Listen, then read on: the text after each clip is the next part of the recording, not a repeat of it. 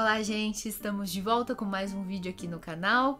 Vocês se lembram que na semana passada eu publiquei um vídeo que fez muito sucesso sobre os cinco livros mais perigosos que eu tinha lido na minha vida.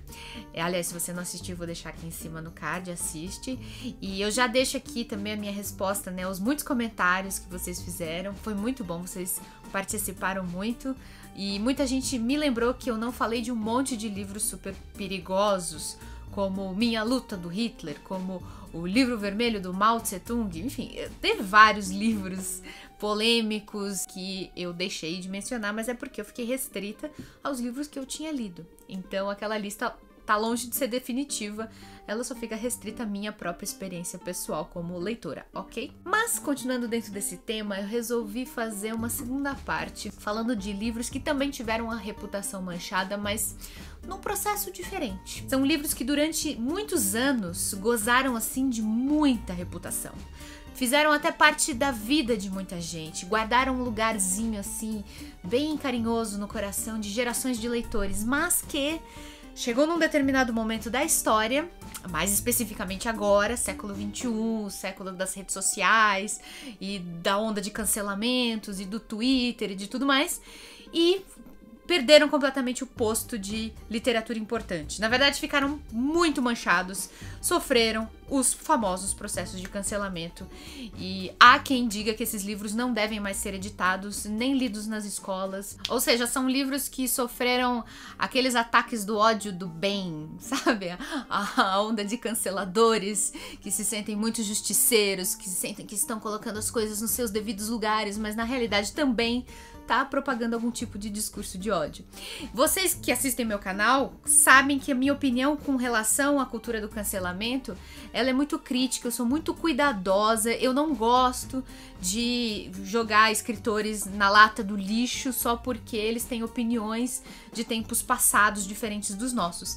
E também, ao mesmo tempo, eu não acho que a gente tem que passar pano para esses escritores. O nosso desafio como leitores competentes, maduros, esclarecidos é encontrar esse equilíbrio. Não dá para passar pano e também não dá para ser cancelador. Dito tudo isso, vamos então aos cinco livros e autores que foram cancelados e se tornaram perigosos por causa do ódio do bem.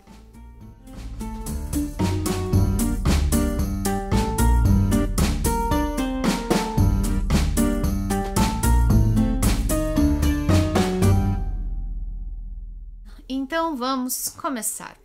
É, eu trago aqui como primeiro exemplo um livro que eu tive contato nessa edição mesmo do Clube do Livro quando eu era bem pequena, eu devia ter uns 11, 12 anos, quando eu li pela primeira vez o famoso Caso dos Dez Negrinhos da Agatha Christie, o livro é, mais é, bem sucedido da super bem sucedida carreira de escritora da Agatha Christie. Estima-se que esse livro tenha vendido pelo menos 100 milhões de exemplares, desde que ele foi publicado em 1939. Agatha Christie foi uma mulher que, sem dúvida nenhuma, não passaria em nenhum dos testes de, de, de diversidade, de é, inclusão, nem de nada disso, né, nos nossos critérios atuais.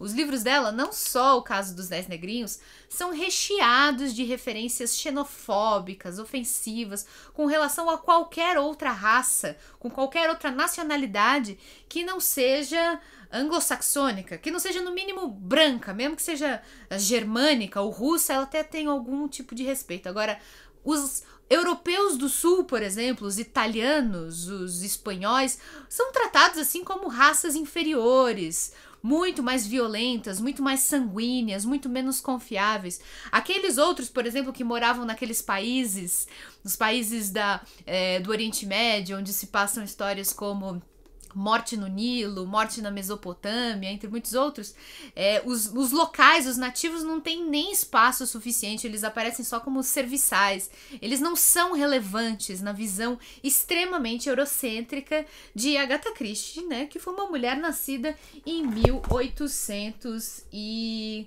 quando ela nasceu, 1890. Dito tudo isso, o caso dos Dez Negrinhos é talvez assim o exemplo mais vibrante, né? Porque se você for ver, é, Dez Negrinhos não chega a ser, né, negrinho, uma palavra ofensiva assim de cara, de saída no português falado aqui no Brasil. Dependendo do contexto, né? Pode ser, né? Eu sei que os, é, o brigadeiro é chamado de negrinho, né? Em alguns lugares do Brasil. Mas o título original em inglês era, vou falar com aquele sotaque bem britânico que eu aprendi no The Crown, é Ten Little Niggas.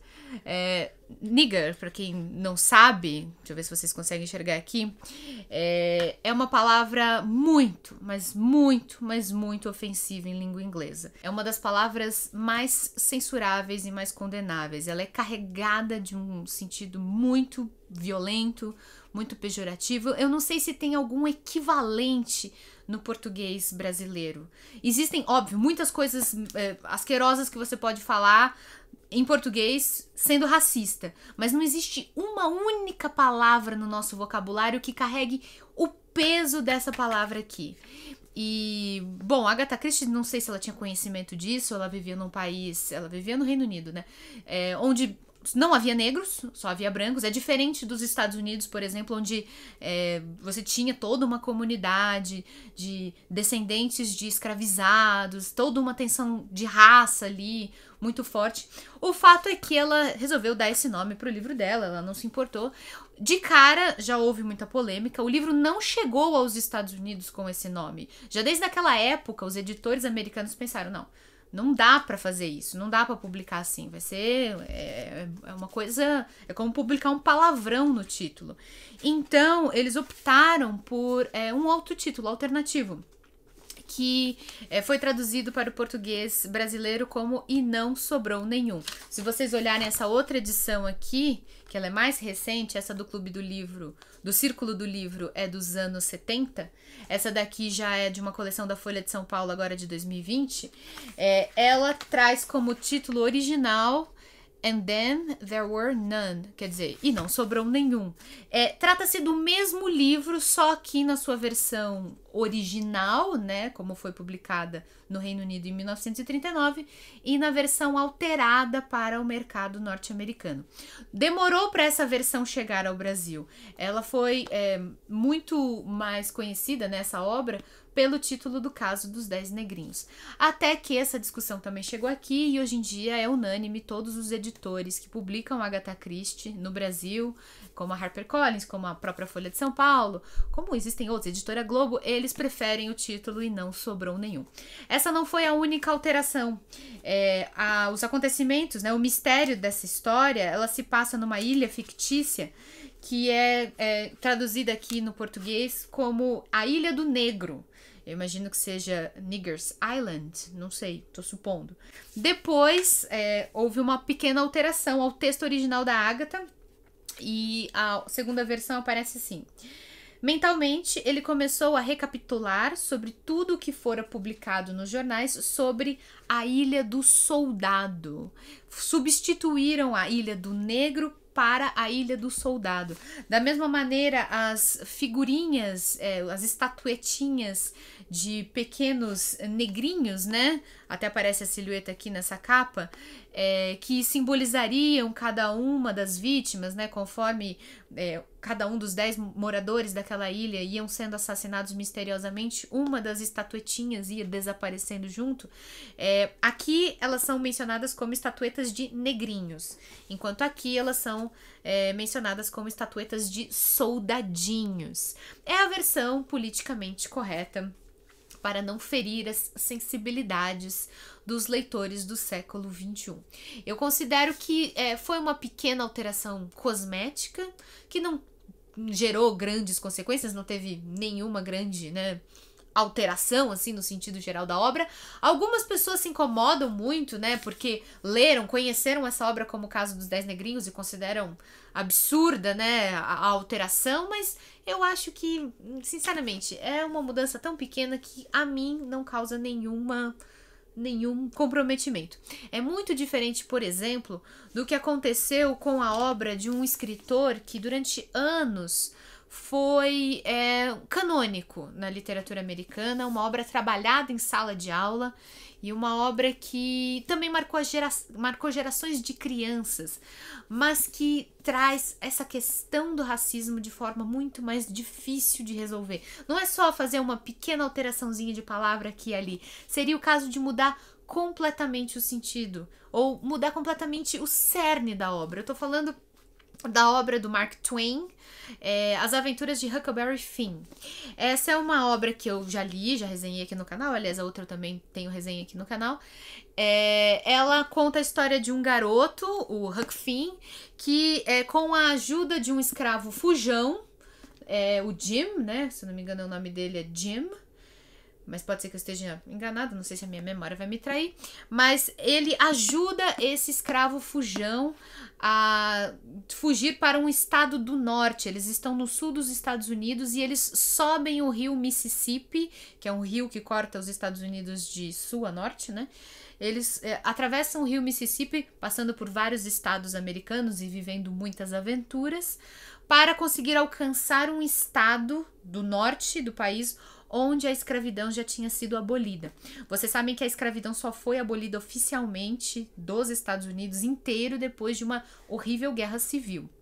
Foi necessária uma guerra porque os estados do sul eram contrários, eles dependiam e eram muito favoráveis à escravidão, lembrava muito o Brasil Imperial, e os estados do norte acreditavam que não, não deveria haver escravidão, é, o trabalho deveria ser assalariado. E, enfim, foi justamente essa a, a, a, as ideologias que levaram a essa guerra civil americana. E quando Mark Twain, que foi um autor nascido em 1835, né? Portanto, ele nasceu numa época que os Estados Unidos ainda não tinham abolido a escravidão. Ele chegou, ele, o escritor, chegou a se alistar para lutar durante a Guerra Civil. Ele lutou durante poucos dias no exército dos confederados, ou seja, o exército do sul, o exército que lutava pela manutenção da escravidão, que lutava a favor da escravidão. Ele lutou desse lado do exército por alguns dias e aí ele desertou. E depois escreveu esse livro em que mostrava pela primeira vez na história da literatura pelo menos dos Estados Unidos, uma parceria entre uma criança branca e um é, escravizado negro. Eles, de fato, esses dois eram amigos que é, fugiam juntos e as aventuras que eles viviam é, denunciavam o racismo, né? O, o, o, o Jean aqui, o, o, escravo fujão, ele sofre as assim, mais absurda perseguição mesmo, né? Então, por algumas pessoas esse livro é considerado até uma denúncia, um livro antirracista, mas por outras é muito difícil engolir essa tese. Afinal de contas, esse livro contém a palavra proibida. A palavrinha nigger é mencionada simplesmente 219 vezes nessa obra né? E nem sempre também é, a tal da denúncia, né, contra os maus tratos sofridos pelo, pelos escravos é assim tão clara. Às vezes a coisa fica meio dúbia. É uma obra que foi escrita no século XIX, então não havia, né, nenhuma, nada que se possa assemelhar com uma pauta antirracista como a gente conhece hoje. Você tinha um escritor ousado para sua época, propondo uma amizade literária incomum entre um branco e um negro. Então, assim, era avançado e progressista para a época, mas hoje é tão complexo, é tão difícil de explicar isso para crianças. Hoje em dia, assim, é, há muitos professores que, que entendem que não é mais possível. E houve também é, edições, né, editoras que publicaram essa história censurando a palavra problemática, substituindo a palavra nigger por outras palavras é, mais politicamente corretas. Isso gerou uma imensa polêmica, porque não é o caso de fazer uma pequena alteraçãozinha aqui e ali, é modificar praticamente todas as páginas do livro. Então, tem resposta para essa pergunta? Acho que não. Acho que é preciso analisar caso a caso. Eu consigo entender que alguns pais não queiram, pais de famílias afrodescendentes, mestiças, seja lá o que for, não queiram que os seus filhos tenham contato com esse tipo de literatura assim tão crianças, né? Eu acho que a solução é realmente apresentar aos mais velhos e não mais como histórias para, né, é, a gente ler e brincar durante a infância. Infelizmente, né? Não é mais possível ter toda aquela inocência nos dias atuais.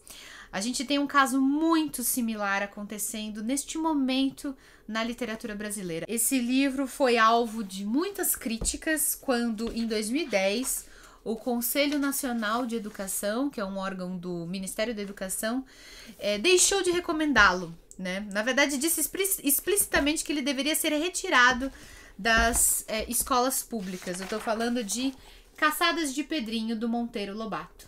Aqui a gente tem uma uma coleção famosa. Eu me lembro na minha escola tinha todos os volumes, né, da obra completa do Monteiro Lobato. Aqui a gente tem o Reinações de Narizinho e o Caçadas de Pedrinho, mas são oito volumes, né, reunindo toda a obra infantil é, em que o Monteiro Lobato contava as histórias do sítio do Pica-Pau Amarelo. Essas histórias são muito marcantes para muitas gerações de brasileiros. É, pessoas mais velhas que hoje estão na casa dos 60, 70, 80 anos vão se lembrar com muito carinho, muita afeição das aventuras do Monteiro Lobato do sítio do Pica-Pau Amarelo e não conseguem entender qual é o problema que se vê nessas obras. Mas o fato é que hoje em dia a gente lê certos trechos da obra do Lobato, não só do Caçadas de Pedrinho, mas de outros livros também, que são bastante inaceitáveis. Por exemplo, a passagem aqui em que a tia Anastácia Tia Anastácia era a cozinheira negra da fazenda, né, do sítio do Pica-Pau Amarelo. Já tem um resquício de escravidão aí bem evidente.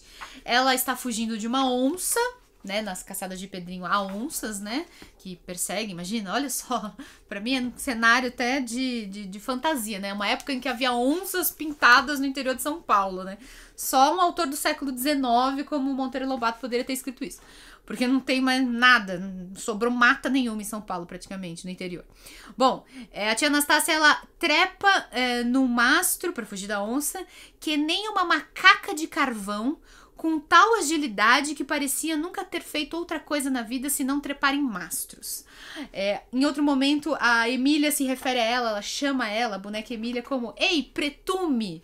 E entre muitos outros exemplos, são muitos outros exemplos. A tia Anastácia, ela é realmente tratada com termos muito pejorativos. Ela é sempre reduzida à cor da sua pele e à sua função de é, cozinheira da família. Ela é nunca tratada com o mesmo respeito da Dona Benta, por exemplo. É, ela mesma é, trata a Dona Benta como sinhá. Né? Quer dizer, é um resquício de escravidão muito evidente e, e não dá. Eu, eu, eu, peço perdão a todas as gerações de pessoas que leram esses livros na infância, se divertiram e só vem inocência nessas páginas. Mas em 2021 não dá para ler essas páginas sem contextualizar, sem fazer as devidas críticas, sem, sem explicar para as crianças. Esse livro foi escrito por um escritor, o Monteiro Lobato, nascido em 1882, ou seja, numa época em que ainda havia escravidão no Brasil. Um escritor que acreditava firmemente na superioridade da raça branca, acreditava numa pseudociência chamada eugenia, que, que, que, defendia que a, a gente devia limpar a sociedade, limpar a raça brasileira através de é, miscigenações, de forma acabar com os negros na sociedade, a embranquecer a população, né? Acreditava-se, enfim, em, muitas teses hoje em dia consideradas completamente abjetas. Monteiro Lobato chegou ao cúmulo de defender a Ku Klux Klan nos Estados Unidos. Ele via essa organização, essa milícia clandestina chamada Ku Klux Klan com admiração. E ao mesmo tempo, não é por causa disso que a gente não deve ler Monteiro Lobato. Ele também foi um escritor importante, é, criativo, progressista em muitos outros pontos. Escreveu o conto Negrinha também, que denuncia né, os resquícios de escravidão na sociedade brasileira. Ou seja, não é para cancelar, é para ler de forma crítica, é para entender, é para compreender, é para discutir. É por isso que eu acho que o cancelamento das obras do sítio do Pica-Pau Amarelo para crianças muito pequenas, eu acho que é até justificável.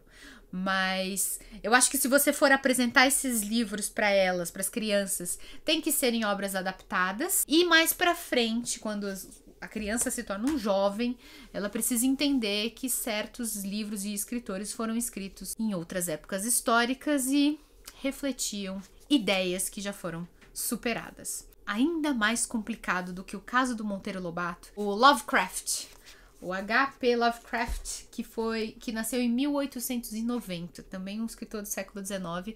Eu tenho dois livros dele aqui, que é O Sussurro nas Trevas e As Montanhas, Nas Montanhas da Loucura. Ele, como vocês podem ver, é editado até hoje. Essas duas edições são novinhas, acabaram de ser lançadas, ou seja, ele ainda gera interesse né, dos leitores do século XXI. Ele é um mestre do terror mas ele como pessoa, né, como ser humano, tinha ideias absolutamente asquerosas com relação à raça, com relação à integração. Ele, o Lovecraft era abertamente um defensor das ideias de Hitler, ele acreditava na superioridade da raça ariana. Ele, ele ficava enfurecido de ver pessoas que não fossem brancas convivendo com ele. Né? Ele era um racistão mesmo, mesmo, mesmo. E morreu defendendo essas ideias, né? Morreu em 1937. Então, o que, que a gente dá para fazer, né, com relação a isso? É para parar de ler os livros do Lovecraft? É claro que não. Né? A gente tem que ler, tem que saber, tem que saber dissociar o autor de sua obra e tem, quando possível, que fazer releituras. Parece que uma série da HBO chamada Território Lovecraft reconta as histórias né, famosas de Lovecraft, mas de maneira provocadora coloca nos papéis principais atores e atrizes negros. Seria algo assim que o Lovecraft desaprovaria, ele arrancaria os cabelos, ele nunca permitiria uma coisa dessas. Mas dane-se, porque as obras de arte continuam sendo reinterpretadas, continuam em movimento. Hoje em dia elas fazem parte da nossa história, do nosso da nossa construção cultural. Então, temos direito de reinterpretá-las da maneira como nós quisermos. E é isso que fizeram né, esses produtores. Mas, antes de citar os, o último livro, né, o último dos cancelados dessa lista, eu quero que vocês prestem atenção nos autores que eu citei até agora. Eu falei de Agatha Christie, eu falei de Mark Twain, eu falei de Monteiro Lobato e eu falei de H.P. Lovecraft. O que, que todos esses quatro autores têm em comum? Sim, você adivinhou, todos eles nasceram no século XIX. A Agatha em 1890, o Twain em 1835, o Lobato em 1882 e o Lovecraft em 1890. Por isso, talvez seja razoavelmente é, explicável, embora não perdoável, que algumas de suas opiniões políticas, especialmente assim com relação à raça e com relação à integração e diversidade, sejam hoje em dia consideradas condenáveis o último exemplo que eu tenho para trazer para vocês, para mim é o mais triste de todos, porque é de uma escritora que é do nosso tempo, está viva até hoje, está em plena produção, né? Está em plena posse de suas capacidades artísticas. Eu tô falando da J.K. Rowling, a nossa querida Joanne Rowling. Ela é, tem, imagina, ela tem um lugar assim completamente cativo e, e reservado para sempre no meu coração, porque ela é a criadora da série Harry Potter. Mas o fato é que ela que sempre foi considerada tão é, progressista, tão inclusiva, ela que fazia declarações interessantes, que expandiu o universo da série Harry Potter com elementos é, em prol da diversidade, que escolheu uma atriz negra para interpretar a Hermione na versão da Broadway da peça do Harry Potter, que afirmou depois que na cabeça dela isso não era importante para a história, então ela não colocou, mas na cabeça dela, Dumbledore, o diretor da escola, era um mago, né, aquele vetusto senhor de barbas brancas. Na cabeça dela, Dumbledore é gay. Ela disse que nunca colocou isso na história porque não era importante, né? Não, não tinha necessidade na narrativa, mas na cabeça dela, né, ele é gay. Então, ela que sempre foi muito elogiada por tudo isso, que tenta colocar é, um, um, um, elenco, vai, meio que multirracial ali na, na, nos, nos filmes. É óbvio que não é perfeito, mas ela tem, tem bons passos. Ela soltou, desde 2019, ela vem soltando umas declarações tão erradas, tão estranhas, tão desrespeitosas, tão dolorosas mesmo, com relação aos trans, aos transgêneros, as pessoas que não se identificam com o gênero, o sexo biológico no qual nasceram. Em 2019 foi quando a, a Rowling começou a fazer umas declarações consideradas assim muito insensíveis. Ela começou a defender alguns casos públicos aí de transfobia, né, que é ataque contra trans. É, quanto mais ela ia sendo criticada, mais teimosamente ela insistia nas suas opiniões e ela chegou ao cúmulo, né, além de se manter muito firme, né, de fazer uma série de declarações, de nunca se retratar e de ficar e de piorar a cada nova declaração que ela fazia no Twitter, de mostrar que ela era realmente uma mulher transfóbica, que realmente não acredita que mulheres trans, por exemplo, têm os mesmos direitos que mulheres cis. É, além disso, ela chegou ao ponto de que no último livro dela, que é aquele livro de detetive lá do Robert Gale Braff lá, ela criou um assassino que se travestia de mulher. Em algumas situações, o assassino dela se vestia de mulher e se aproveitava de ser, de ser confundido com mulher para cometer seus crimes, né? E, enfim, isso foi considerado ainda uma provocação, sabe? Uma, uma maneira da Rowling afirmar que na cabeça dela é, mulheres trans são perigosas, representam perigo à sociedade e, e à segurança das mulheres cis. Enfim, um monte, um monte, um monte de declarações bem, bem, bem tristes mesmo. Alguns fãs chegaram ao radicalismo de cancelar ela completamente, de não assistir mais os filmes lá do Animais Fantásticos. Teve um monte de polêmica tal. É, eu não chego a esse ponto, eu continuo gostando de Harry Potter, vou continuar gostando, eu acho que é uma obra muito boa, eu separo a mulher da obra e eu entendo que são seres humanos complexos, né?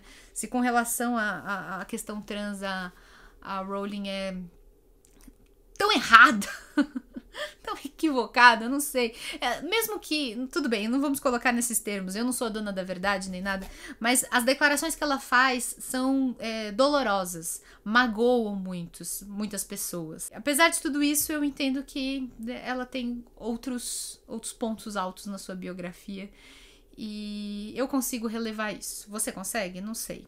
Coloca aqui embaixo nos comentários a sua opinião a respeito dessas polêmicas.